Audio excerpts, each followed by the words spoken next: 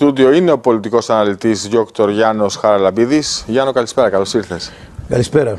Λοιπόν, τι σημαίνουν αυτές οι δηλώσεις για Πετρίτη. Έχουμε φτάσει στο, στο σημείο δηλαδή η Αθήνα να κατηγορεί τη Λευκοσία για ατολμία και να της μπρόχνει για νέα στοιχεία. Τι εννοεί νέες υποχωρήσεις, τι, τι εννοεί ο κύριος Γεραπετρίτη και ποιο είναι το, το σκηνικό που υπάρχει μεταξύ Η δική μου πληροφόρηση από υψηλά ιστάμενες κυβερνητικές πηγές που δεν επιδέχονται αμφισβήτηση και παρακαλώ τον κύριο Γεραπετρίτη ή τον οποιοδήποτε να μην τις αμφισβητήσει για πολλούς λόγους δείχνουν ότι η Λευκοσία είναι σφόδρα ενοχλημένη, διότι τα, περά, τα πειρά για την έλλειψη της γενναιότητας απευθύνονται στην πραγματικότητα πρώτον προς τον Κυπριακό λαό που απέρριψε το σχέδιο ΑΝΑ, αυτή είναι η πρώτη ερμηνεία και της Λευκοσίας, και δεύτερο, απευθύνονται προς τον ίδιο τον πρόεδρο της Δημοκρατίας και προς τον Υπουργό Εξωτερικών, τον κύριο Κομπό, διότι αυτή ήταν στο κράσμα Μοντανά.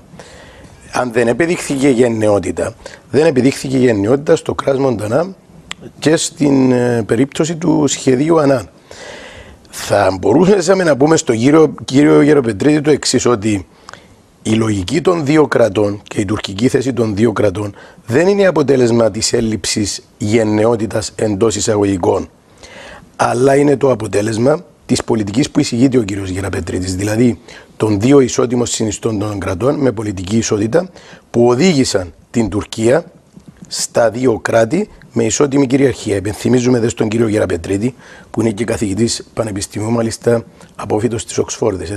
Άρα δεν δικαιούται να έχει άγνοια, ούτε να απαλλάσσεται των πολιτικών και ιστορικών του ευθυνών, ότι η πολιτική η ισότιμη κυριαρχία ετέθη από το 1974 από τον Ετζεβίτ.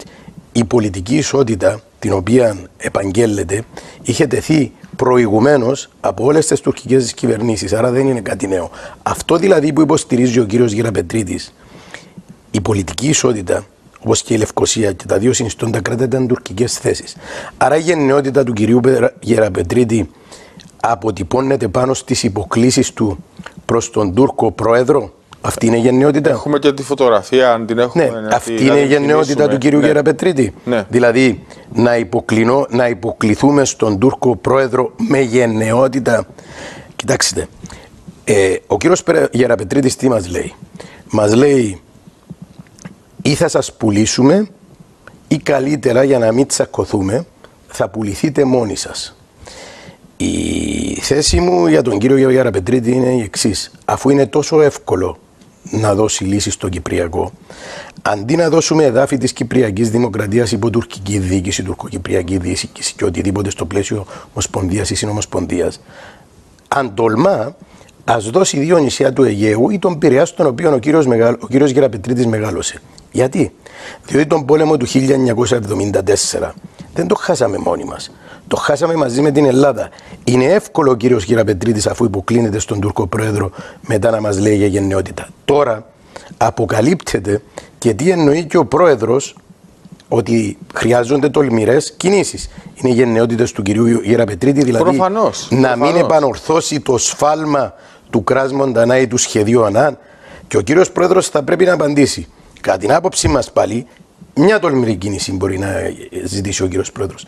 Την άμεση παρέτηση του κυρίου Γεραπετρίτη για προσβολή εναντί των Ελλήνων της Κύπρου και του ιδίου. Πώς δέχεται ο Πρόεδρος της Δημοκρατίας να τον προσβάλλει δημόσια ο Υπουργός Εξωτερικών της Ελλάδας; Αυτή δεν είναι διάφορα. Είναι μέγιστη, είναι μέγιστη προσβολή. Συνεπώς, ε, η οποιαδήποτε σύσταση προς τον Πρόεδρο της Κυπριακής Δημοκρατίας είναι εξής ότι βρίσκεται σε λάθος δρόμο, αργά ή γρήγορα είτε θα συγκρουστεί με την Αθήνα, είτε θα υποταχθεί στην Αθήνα. Σήμερα παραδέχεται διγλωσία, είδαμε. Ναι, ναι. Ε, η οποία υπό τις υφιστάμενες συνθήκες υιοθετεί τι τουρκικές θέσεις, δίνει συγχωροχάρτη στην Άγκυρα και στο τέλος θα φορτώσει στον κύριο Πρόεδρο το εξής. Ή θα δεχτείς, θα του πει, τη λύση που σου λέμε, δηλαδή μια συγκαλυμμένη λύση των δύο κρατών, με τι θα εμπλουτιστεί, όπως λέει ο κύριος Γεραπετρίτης, η νέα πρωτοβουλία; Τα νέα στοιχεία που λέει. Ποια είναι τα νέα στοιχεία; Δηλαδή, Αυτά είναι που πρέπει να μάθουμε. Ε, τα νέα στοιχεία θα είναι ο τετραγωνισμός του κύκλου. Δηλαδή η συγκαλυμμένη ισότιμη κυριαρχία και τα δύο κράτη. Άρα θα πεις στον πρόεδρο, ή θα δεχθείς διχοτόμηση και θα την υπογράψεις, ή θα σε εγκαταλείψουμε πλήρως και πάλι θα πάει η Κύπρος σε διχοτόμηση. Άρα έχει μπει ο πρόεδρος σε ένα διέξοδο που ή τώρα απεγκλωβίζεται με μια τολμηρή δήλωση, πρώτον παρέτηση Γεραπετρίτη και μετά από την παρέτηση, Γερα, παρέτηση Γεραπετρίτη να ζητήσει εκλογές και σε Κύπρο και σε Ελλάδα για να καθορίσουμε τι μορφή λύσης θέλουμε και να πάμε στα Ενωμένα Έθνη και στην Ευρωπαϊκή Ένωση και να ζητήσουμε το εξής. Αυτό που είπε ο Πρόεδρος και αυτό που λέει ο Έλληνας Πρωθυπουργός. Απελευθέρωση.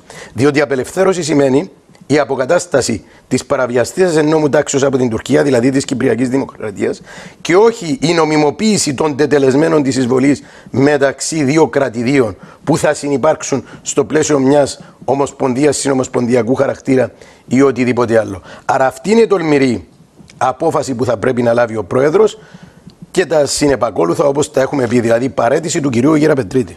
Μάλιστα. Σε ευχαριστώ πάρα πολύ, Γιάννο. Σε ευχαριστώ. Να σε καλά, καλή συνέχεια.